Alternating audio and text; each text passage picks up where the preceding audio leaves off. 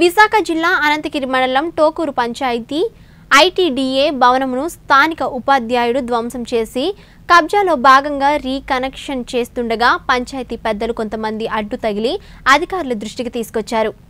నేను నా పేరు టోగూరు పంచాయతీ మాజీ సర్పంచ్ను. టోగూరు పంచాయతీ పరిధిలో గల ముల్లగూడ గ్రామంలో ఐటీడీఏ క్వార్టర్ నిర్మించారు. ఆ భవనం కనీస కనీసం ఒక ఇరవై సంవత్సరాలు అవుతుంది. అదే. ఒక ఉద్యోగ వ్యక్తి దాన్ని దంతం చేసి అక్కడ ఆపజాయుడు. కడపటి సుబ్బారావు అతను స్వాధీనం చేసి అతను ఆక్రమించడానికి ప్రయత్నిస్తున్నాను అధికారులకి ఫిర్యాదు చేసినా స్పందించడం లేదు.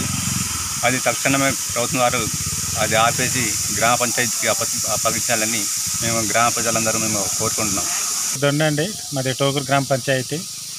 ఇందాకలా మాజీ సర్పంచ్ సోము గారు అన్నట్టు మా పంచాయతీలో పంచాయతీ అవసరం నిమిత్తం ఆ బిల్డింగు ఐటీడీ వారు గవర్నమెంట్ బిల్డింగ్ నిర్మించబడి ఉంది.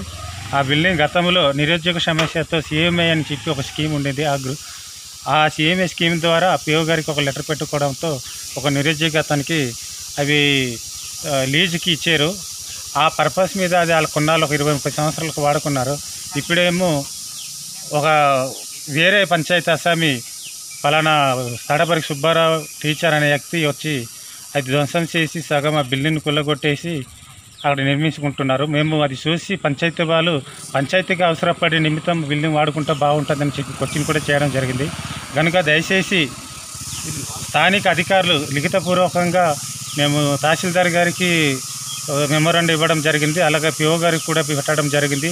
సంబంధిత స్పెషల్ ఆఫీసర్ ఇప్పుడు మనకు బాడీ పంచాయతీ బాడీ లేదు కనుక పంచాయతీ స్పెషల్ ఆఫీసర్ గారు కూడా లెటర్ పెట్టడం జరిగింది.